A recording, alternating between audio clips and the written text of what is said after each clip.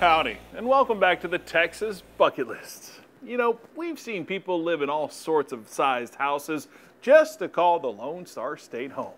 And that's definitely the case up in Spur, where we found some of the smallest homes we've ever seen.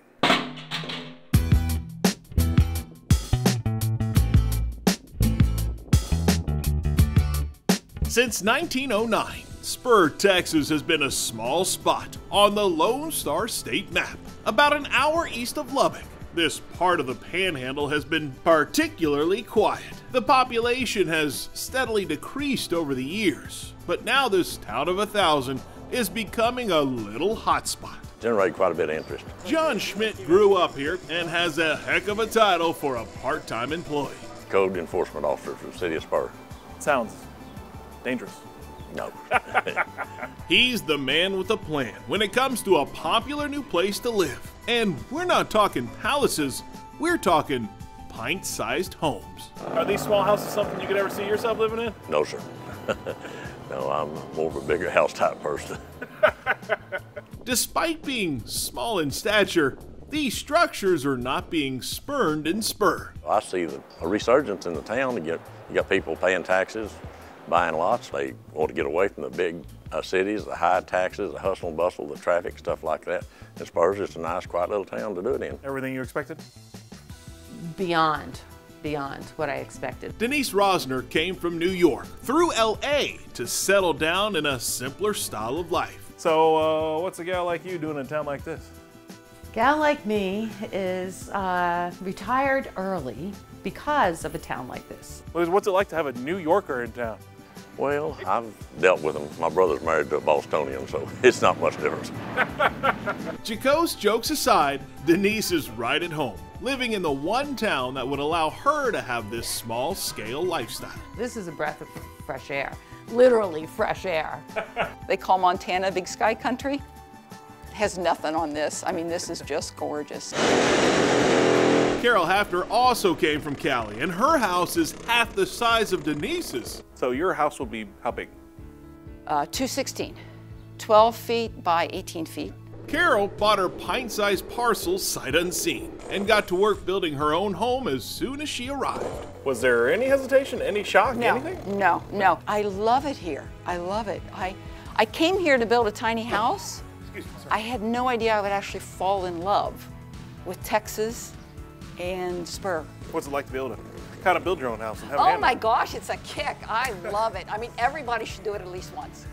everybody should do it at least once. Spur's still the first to do it and has done it, and it's paid off big time for them. Danny Schallenberg is a small home builder and says these homes usually run between 35 and $45,000. The smallest sits at 83 square feet.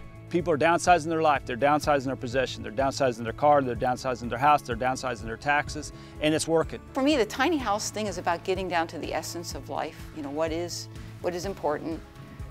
What do you really need? That's what tiny house is.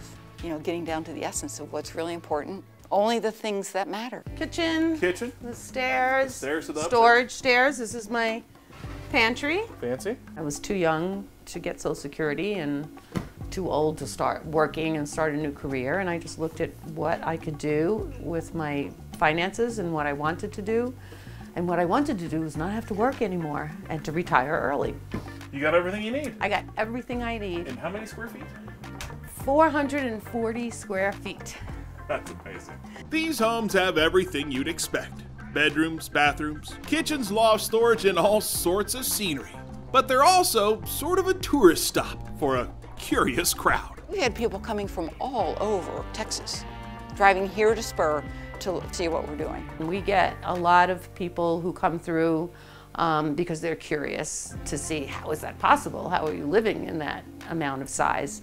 And I will say that this house does surprise everybody. There are always people driving by. A woman went by just now with her phone doing this. Swear to God, right out the window. Do you see While many see these small homes as an oddity, they're oddly quite homey, bringing people from across the country closer together in this small Lone Star State town. Committed to making tiny homes a tangible choice in Texas. The Spur is the only place so far. We're hoping that um, if we can do it, other small towns can do it as well and make more room for the hundreds of thousands of people who economically need to do something like this. Is it for everybody? No. Do I want it to be for everybody? No.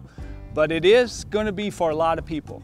Uh, I believe that. It's going to be a sight one of these days, I honestly believe. I want people to see this. I want to I want people to see that there's another way to live, that we don't have to have all this stuff because that's what I was doing. That's what a lot of Americans are doing now is they're paying mortgages and rents for stuff. I'm just a small town girl at heart, I think. You know? Oh, welcome to Texas. Thank you. I appreciate it. I appreciate it.